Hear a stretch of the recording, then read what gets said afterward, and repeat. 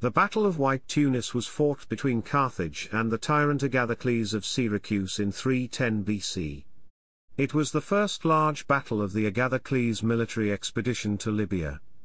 Even though heavily outnumbered by the Carthaginian army, the soldiers of Agathocles were far more experienced in warfare than the Carthaginian citizen soldiers. Another important factor was the terrain, which prevented the Carthaginians from using their numbers to outflank Agathocles. The Carthaginians suffered a serious defeat, which caused some of the Carthaginian allies to change their allegiance to Agathocles.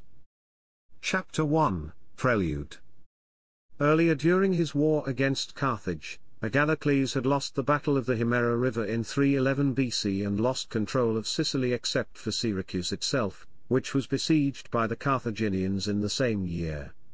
Instead of facing the army which besieged Syracuse, he decided to start an unexpected and risky attack on his enemy's home soil, Libya. It would divert the Carthaginians from Syracuse and incite the Libyan allies of Carthage to revolt, as well as allowing him to plunder the wealthy territory of Carthage. He calculated that his experienced army, even though little remained of it, would have an edge over the Carthaginian forces there, which were not as experienced as the Carthaginian forces in Sicily. With 60 triremes Agathocles managed to escape a Carthaginian blockade of Syracuse in August 310 BC. His fleet narrowly escaped a naval battle with a pursuing Carthaginian fleet, as they landed at Latomiae, which is near the modern Cape Bon. Agathocles then burned his ships to remove any option of retreat for his soldiers. Additionally, he no longer needed to leave a part of his force to guard the ships and precluded their capture by the Carthaginians. After the Greek army looted the prosperous countryside, Agathocles led his army in a direct assault against the Carthaginian city of Megalopolis.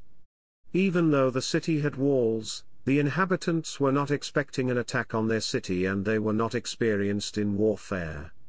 After a short period of resistance, the Greeks looted and destroyed the city.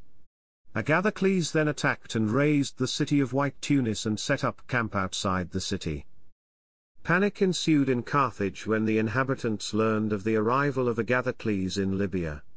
They thought that Agathocles would not have left Syracuse unless the Carthaginian army and navy there had been eliminated.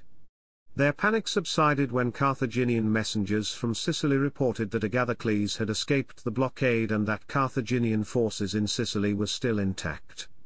The Council of Elders appointed two Carthaginian rivals, Hanno and Bomilcar, as the generals of an army to defeat Agathocles. According to Diodorus Siculus, Bomilcar wanted to exploit this event to get rid of his rival and seize power in Carthage for himself. Chapter 2 Battle According to Diodorus Siculus, Hanno and Bomilcar wanted to attack Agathocles quickly. So they did not wait for soldiers from the countryside or their allied cities to arrive. They raised an army of 40,000 infantry, 1,000 cavalry and 2,000 chariots from the Carthaginian citizenry. The numbers for the chariots given by Diodorus were probably much exaggerated. Justin writes that the Carthaginian army numbered 30,000 men and mentions only Hanno as the general. The Carthaginians approached Agathocles at his camp near White Tunis and assumed battle formations. Hanno commanded the right flank with the sacred band beside him. Bomilcar was on the left flank with a deep phalanx, because the terrain prevented him from extending his formation. They placed the chariots and cavalry in front, who were to strike the Greeks first. Agathocles placed his son Archagathus on the right wing with 2,500 infantry. He also deployed 3,500 Syracusans, 3,000 Greeks, 3,000 Samnites, Etruscans, and Celts. He commanded the front of the left wing himself with his guards and 1,000 hoplites to fight the sacred band. He divided 500 archers and slingers between the wings. To boost the morale of his soldiers he released owls, which were sacred to Athena, into his ranks stopped the Carthaginian chariots and then the cavalry charged the Greeks first, but their assault proved to be ineffective. They suffered casualties and fled to the rear of the Carthaginian army. Then the Carthaginian infantry engaged. Hanno and the sacred band attacked fiercely, causing many casualties on the Greek side. However, Hanno was seriously wounded and died during the battle. The Carthaginians near him were shocked, which encouraged the Greeks to press them harder. When Bomilcar became aware of this situation, he made an orderly withdrawal to the high ground. Diodorus Siculus attributes this to his desire to see the Carthaginian citizens defeated, which would enable him to seize power in Carthage. This ordered withdrawal turned into a rout. The sacred band continued to offer resistance, but fled when they were about to be surrounded. Agathocles pursued them towards Carthage for some time, but then turned back and plundered the enemy camp. Diodorus Siculus counts 200 Greek casualties and 1,000 for the Carthaginians, adding that others give a number up to 6,000 killed Carthaginians. Justin gives 2,000 Greek and 3,000 Carthaginian dead. A modern estimate is that the Greeks lost 500 men and the Carthaginians 3,000. Chapter 3 Aftermath With his small force Agathocles was not able to besiege Carthage, so he encamped before the city and pillaged the countryside. In Carthage the inhabitants thought they were suffering from the anger of the gods, who now needed to be satisfied. They sent a large sum of money and other expensive offerings to their mother city Tyre as a sacrifice to Melqart. To Baal they sacrificed 200 children and 300 adults by throwing them into a pit with fire. This mass sacrifice is attested to by Diodorus, a strong Syracusan patriot, and therefore its accuracy may be questionable.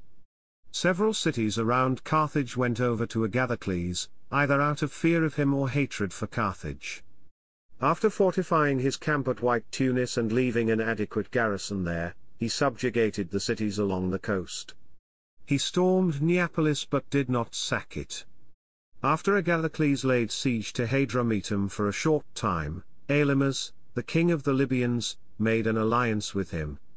The Carthaginians used Agathocles' absence to attack White Tunis, capturing his camp and besieging the city. When Agathocles heard of this, he left the siege of Hadrumetum with a small force to travel to a mountain which was visible from both White Tunis and Hadrumetum. He set up a ruse for both his enemies by making his soldiers light a large number of fires at night. The Carthaginians abandoned the siege and retreated because they thought Agathocles was approaching with a large army. Hadrumetum surrendered to him, because they thought Agathocles was about to receive a large number of reinforcements. He then took Thapsus by storm and continued to expand his power over more cities both by force and with persuasion. After he had gained control of all the cities and towns in the vicinity of Carthage, which numbered over 200, he planned to lead his army further into the interior of Libya. Agathocles had to deal with one minor battle at White Tunis. The Carthaginians received 5,000 men from Sicily who were diverted from the siege of Syracuse. A few days after Agathocles had departed for Libya's inland regions, the Carthaginians again laid siege to White Tunis with their reinforcements. They were joined by some of their Libyan allies, including King Elymas, who had betrayed his alliance with Agathocles. When this news reached Agathocles he turned back, marched at night and made a surprise attack on the Carthaginian besiegers at dawn. He killed 2,000 of their forces as well as King Elymas and took some captives. He then resumed his plans to campaign in Libya, but he would face another battle at White Tunis in 309 BC.